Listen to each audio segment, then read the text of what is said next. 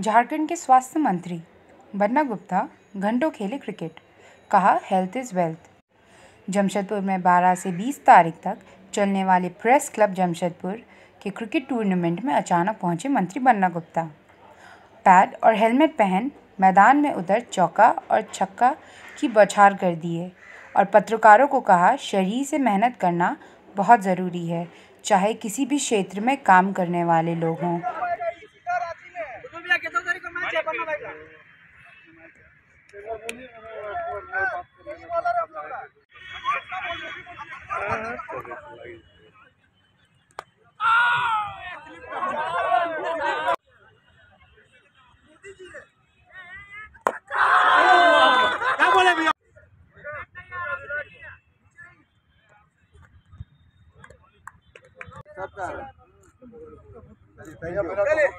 लोकतंत्र का चौथा स्तंभ प्रेस है।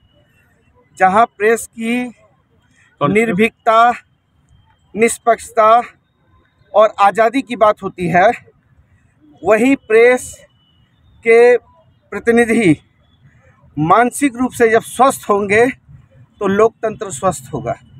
और लोकतंत्र स्वस्थ होगा तो पूरा देश आगे बढ़ेगा। और जब पत्रकार कलम के साथ शरीर से भी बलिष्ठ हो जाएँगे और मन से मज़बूत हो जाएँगे तो निश्चित तौर पर ये एक बड़ा व्यवस्था खड़ी होगी और मुझे बहुत खुशी होती है कि जमशेदपुर के प्रेस प्रतिनिधि साथियों को जब मैं देखता हूँ कि बैडमिंटन है, क्रिकेट है या फुटबॉल है या खेल के प्रति जो रुचि है, ये देख के लगता है कि हमारा प्रेस प्रतिनिधि साथी बहुत ही भावुक है हृदय से बहुत पवित्र है और जब पत्रकारिता में पवित्रता आ जाएगी तो केवल आलोचना नहीं करेंगे उसकी समालोचना होगी।